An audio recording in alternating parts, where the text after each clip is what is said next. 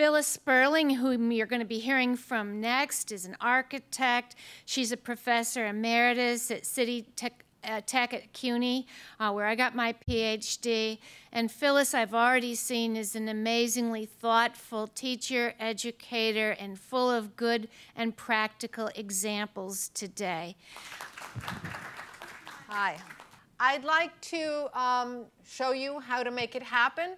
But first of all, I wanted to um, answer one of the uh, challenges just brought forth.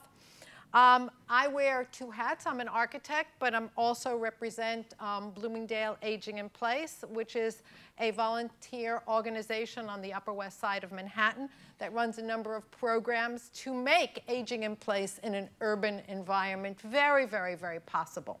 Most of what you'll be hearing tonight will involve a very inexpensive solutions on how you can make your environment easier to age in place. I'm unfortunately going to talk a little bit about the more expensive solutions, and then we'll get that out of the way.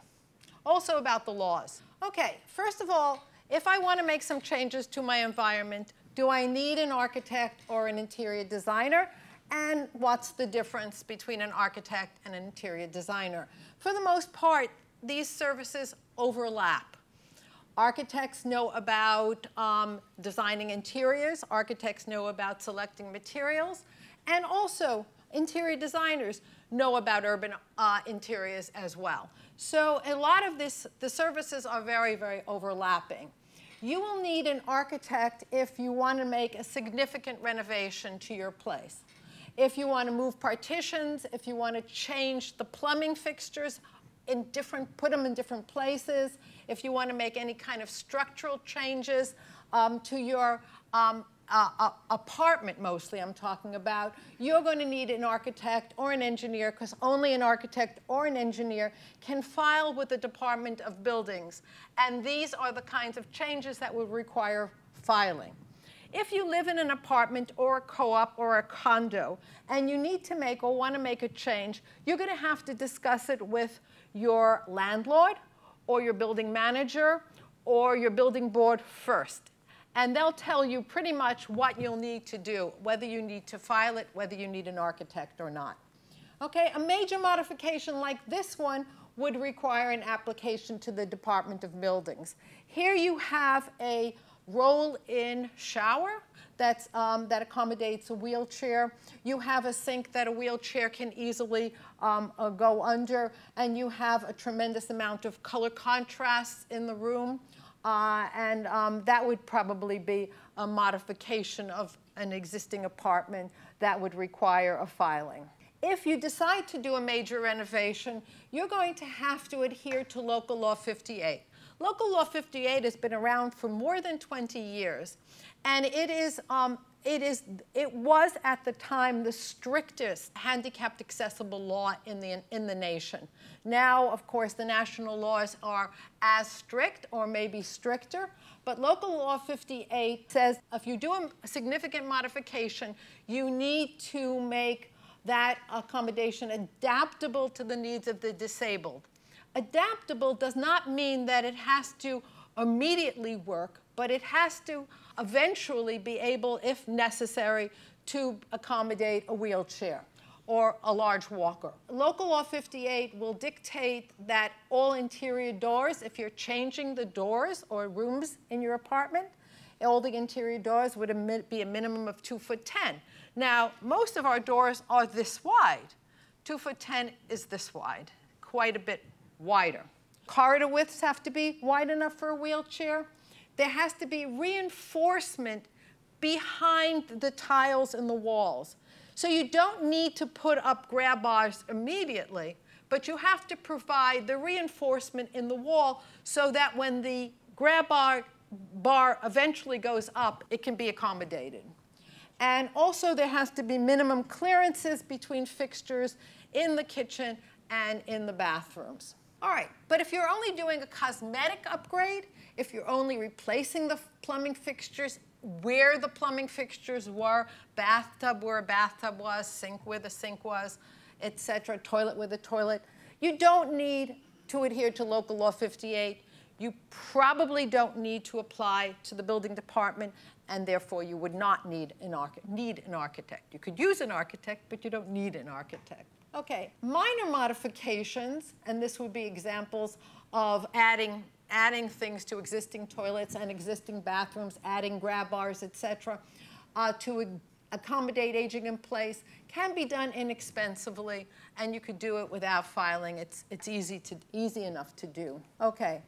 Now, both an architect and an interior designer can help you select the fixtures, the tiles, and the colors that you might want. Here's an example of a renovated kitchen that would conform to Local Law 58. Uh, you see that, um, that the um, stovetop projects further out so that a wheelchair a little bit can roll under it. The sink also, it's not as clear, projects out for wheelchairs. There's a at least 40 inches, probably more, between the counters. Um, here are uh, two bath, oops, I went backwards. Um, there's at least 40 inches between the counters in here, and that's, that would be local law 58 as well. Now, obviously, neither the, the before picture on the left nor the after picture on the right are wide enough. And this kitchen would be impossible and, and most likely illegal. Um, probably would have to eliminate that shelf on the left side. Because if the kitchen is too narrow, you have to be a contortionist to move within it, especially if you're in a wheelchair. What is an adaptable kitchen design? An adaptable kitchen design would have something that would be at, let me see if this thing works. Yeah, well, maybe not. That would be at the right height for somebody working in the kitchen. That's a 36 inch counter height. But if it had to accommodate somebody later on, if the apartment was rented to someone else or sold to someone else that needed a wheelchair, then that sink whole cabinet could be lowered and accommodate that wheelchair. Some other accommodations for successful aging, and we'll see a little bit more of this. Here is an example of a two-step down sunken living room with a color contrast at the edge of the steps so that not only people who are visually impaired could notice the difference uh, as they walk down the steps, but almost anybody can, even if the lighting is not terrific. Here's a decorative grab bar that would help somebody get down the stairs. Now, as a tenant, as a co-op owner, or as a condo owner, what are your rights uh, in terms of uh, disability or just aging in place? The um, Commission, Commission on Human Rights in the City of New York has a law that gives you the right to have your landlord or your condo or your co-op fix things or makes things possible for you if you need, need to have some accommodation. It requires landlords to reasonably accommodate the needs of disabled tenants in their apartments or in common areas. And a reasonable accommodation can be structural, such as a ramp, or it can mean installing a grab bar. I think that what we need to ask is what's reasonable accommodation? Reasonable accommodation means that if you live in a fifth floor walk up and you can no longer walk the stairs, you can't demand that your landlord cut through four floors to install an elevator for you on the fifth floor. That is not reasonable. So a reasonable accommodation takes into account your disability and it also takes into account the resources of the landlord or the co-op board or the um, condo board. If you need to have some sort of reasonable accommodation made, you can go to your landlord and you can demand such a change. And you might need um, some sort of note from your doctor or healthcare professional. But basically, this accommodation should be um, uh, adhered to. And if you have a complaint, you call 212 306 7450, make an appointment, and they'll help you with um, filing an application or making a complaint. That's it for me now.